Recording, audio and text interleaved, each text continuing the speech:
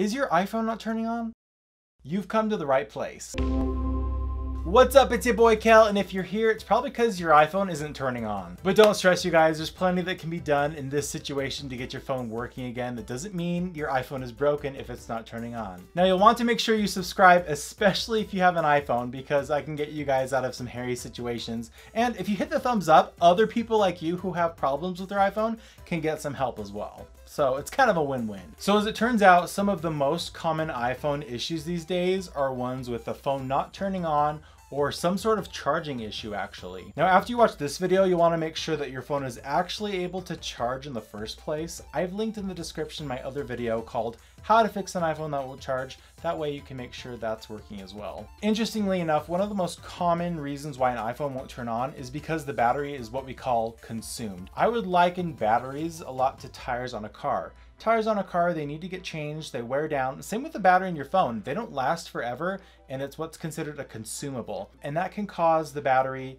to make the iPhone shut off or not even turn on again. So before you start sounding the alarm and freaking out thinking you need a new iPhone, you might consider getting Apple to test the iPhone battery, which they can do over the phone with Apple Care or in store before you make any conclusions. My mom has an iPhone 6 and her phone was slow, it would turn off randomly and sometimes wouldn't turn on at all. I had Apple replace the battery in it and it was working perfectly afterward. And now she can use her iPhone for like another two years or so. Now, another thing that can happen with iPhones turning off is some sort of inconsistency with the software or firmware, or as a lot of people like to call it, a glitch. When I worked at Apple, people would be like, my phone's glitching. It's like, what do you mean by that? There's a lot of things that you could be talking about. That's when something like a DFU restore might be a good idea. Simply put, a DFU restore is when it guts the firmware and the software, basically wipes it to the core and um, makes everything uh, refreshed and renewed. But you have to be careful though, because if you put your backup back on that afterward, that could bring the problem back. So you might need to start up as new. If you're not sure how to do that though, that's okay. Apple can do it in the Apple store for you for free. You'll just want to make sure that you get an appointment first. Finally, all the other reasons why an iPhone might not be turning on can simply just be due to the fact that you've neglected your phone.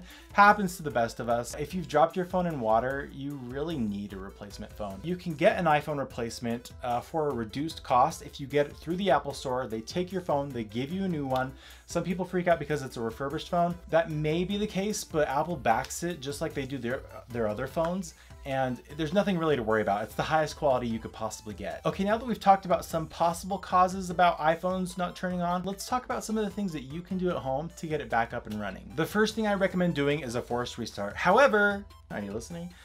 A forced restart needs to happen perhaps if the phone isn't turning on after a few seconds, you need to hold the force restart buttons for like 60 seconds while plugged in that could possibly kick on the iPhone. A forced restart can work even if your screen is black or the phone's not responding at all. You'll just want to follow these steps. On an iPhone 8 or later, press and quickly release the volume up button, press and quickly release the volume down button, then press and hold the side button until you see the Apple logo. On an iPhone 7 or 7 Plus, press and hold both the side and volume down buttons together for at least 60 seconds until you see the Apple logo. On an iPhone 6s and earlier, iPad or iPod Touch, press and hold both the home button and the top or side buttons for at least 60 seconds until you see the Apple logo. Now, if it turned on for you while you did one of those things, let me know in the comments. I gotta figure out if this is actually helping people. But if it didn't, let me know as well. That way I can kind of follow up with you and see what else we can do to get it fixed.